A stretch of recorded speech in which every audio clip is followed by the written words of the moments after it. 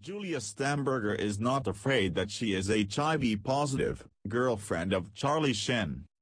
Actor Charlie Sheen's new girlfriend Julia Stambler is not afraid of the fact that her beau is HIV positive. According to sources, Stambler wants to spread the word that the relationship is a buzzkill. Julia and Charlie believe there are surefire ways to avoid contracting the virus, antiviral medicines and, of course, protection said a source. Sheen has said his HIV levels are undetectable and Stambler said that gives her even more reassurance. Julia is hurt that many of her friends are warning her to stay clear of Charlie because of his being HIV positive, and she thinks they're ignorant and living in the fearful past. She also thinks it's a terrible message to send to people who are HIV positive, the source added.